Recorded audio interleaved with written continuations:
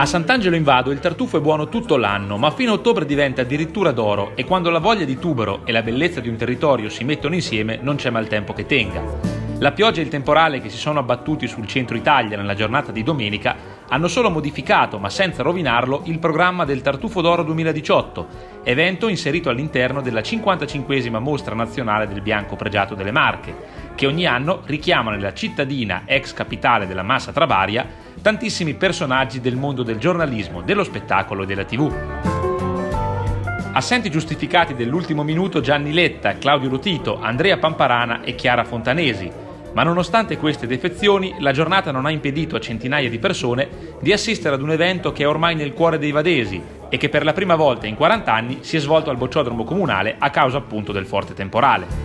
Principali protagonisti della mattinata sono stati Maria Grazia Cucinotta e Gabriel Garco, entrambi nelle vesti di premiatori, che sono stati oggetto di tantissimi selfie e si sono dimostrati disponibilissimi nel rispondere alle domande del presentatore Francesco Belfiori.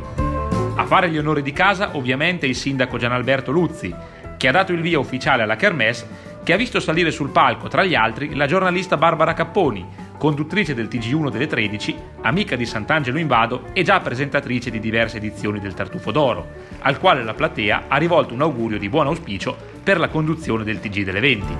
Prima e dopo Barbara Capponi, il premio è andato a Gabriele Rossi, attore di fiction recentemente apparso in tv nell'onore e rispetto, a Ugo Di Bennardo, direttore della direzione Operation e Coordinamento Territoriale di ANAS, a Mauro Papalini, presidente della sede territoriale di Pesaro Urbino di Confindustria Marche Nord, ad Alba Armillei, professionista delle acconciature, che ha messo le mani in testa a dive, regine e imperatrici,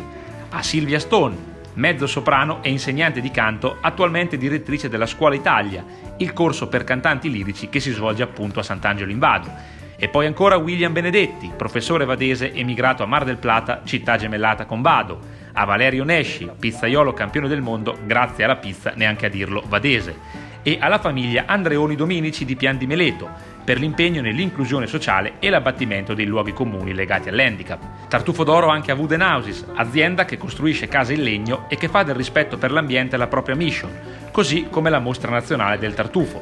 e all'associazione Famiglie Pro Centro Giovanile, punto di riferimento da anni per tanti giovani del paese.